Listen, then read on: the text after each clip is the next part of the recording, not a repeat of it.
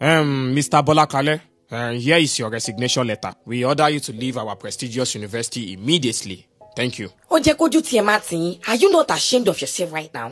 Yeah, I'm, very sorry it's not that. can you just shut your mouth up o lọ́rọ̀ kankan láti sọ fún wa id card tiẹ̀ ṣì wà lọ́rùn. ẹ á padà nídìí láti bọ fún wa many youths to believe no school mọ àwọn òbí tó ń rán wọn gan gbẹ̀rí wa jẹ́ torí àwọn lecturer bíi ruyin báyìí ti ba school system wa jẹ́ àwọn ọmọ wa léèwé gíga kọjọ wájú wọn lè dá kó lè nítumọ̀ ẹ̀yin olùkọ́ ta ní ẹ̀tún ayé wọn ṣe gan lẹ̀ ń wá báyé wọn ò ṣe nísùnwọ̀n ẹ̀ ń bẹ́ná sáwọn ọmọ lọ́mọ láìṣe